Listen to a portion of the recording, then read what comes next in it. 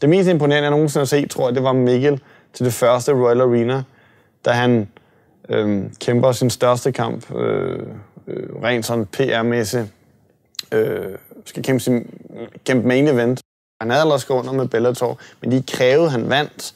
Og han skulle ikke bare vinde, han skulle virkelig blæse gennem sin modstander, Martin Tondryk, som var en rutineret øh, og meget dygtig kæmper. Og så sker der det i dagene op til, at et familiemedlem meget tæt på ham blev meget alvorligt syg, hjertesyg og blev opereret i, i hjertet. Og udover at han selvfølgelig blev utrolig presset mentalt over, at han skal kæmpe den her kamp og øh, skal vinde, og det kan man som sagt, man kan ikke fokusere på resultat, men det skulle han. Han skulle kunne præstere på sådan et niveau, at han ikke overhovedet blev rørt i den kamp. Han skulle bare se flawless ud. Og samtidig, så øh, sin aller sidste sparring før kampen, så blæser han hans hånd ud. Han, øh, han smadrer sin hånd. Den brækker ikke, men det er en, en skade fra hans første professionelle kamp, hvor han, hans øh, ene knogle i hånden popper op af, af, af ledet. Så han kan ikke bruge hånden. Han kan ikke spinde sin snørbånd, han kan ikke øh, åbne en dør. Han kan, han kan ingenting med sin hånd. Han skal gerne kæmpe den her kamp. Han kunne ikke sige nej til kampen. Han skulle kæmpe den her kamp. Men jeg sidder med Mikkel til at tabe hans hænder, og det plejer som sagt at være sådan et specielt øjeblik, synes jeg, fordi at de begynder virkelig at, at, at komme ind i den her zone, hvor de skal til at kæmpe og bliver meget fokuseret, og, og, og de fleste stiller sådan af og bliver, bliver meget indelukket, med meget, meget intense i deres blik, og de få ord, der kommer ud af deres mund, de er meget intense og meget bestemte. Og det var sgu ikke rart. Øh, det var, det var svært at sidde som coach, øh, fordi jeg var bekymret.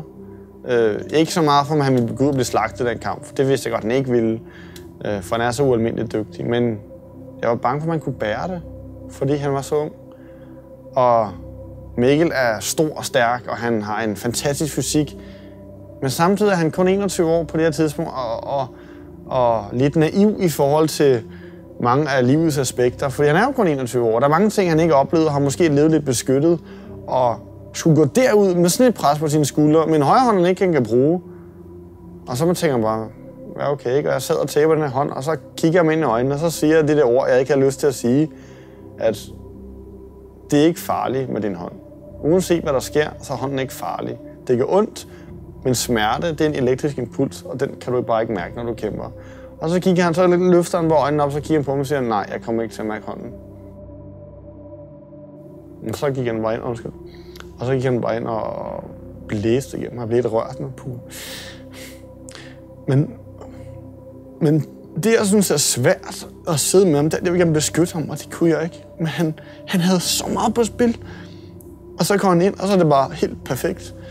Han, han blev ikke ramt en gang alt, han blokerede alt. Han var helt perfekt, og så, da kampen var færdig, så, så jubler han ikke. Han tager sig bare til hovedet, og så flår man sig ned i, i, i, på gulvet sådan helt øh, lettet.